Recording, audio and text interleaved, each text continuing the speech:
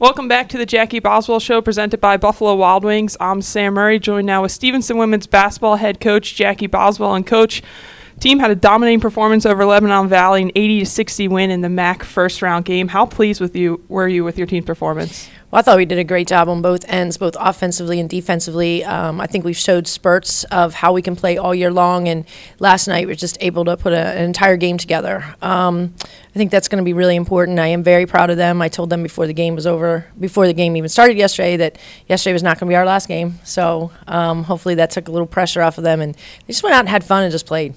I think one of the keys to the game was Lebanon Valley cannot stop the fast break. You guys scored a lot in transition and then had 31 points off the bench. Mary Amakita came in and scored a career high nine points. How important is the depth going to be go- moving forward? Well, I think it's going to be really important. We're coming up against some veteran teams that are used to being there, and you know we do have a young squad, but I think that we have to use that part to our advantage too because they just don't know any better. And if they can continue to play like that, uh, you know they just don't know any better, and they're just going to play hard. And you know we talked a lot about uh, the transition last night after the game and how important that's going to be moving forward, especially if we have to be on the road. You can't stop transition on the road.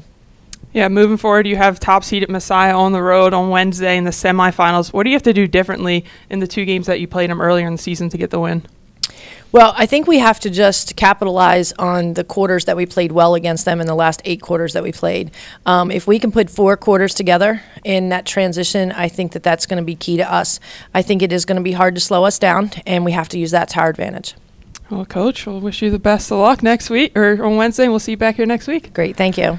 For Coach Jackie Boswell, I'm Sam Murray, and this has been the Jackie Boswell Show.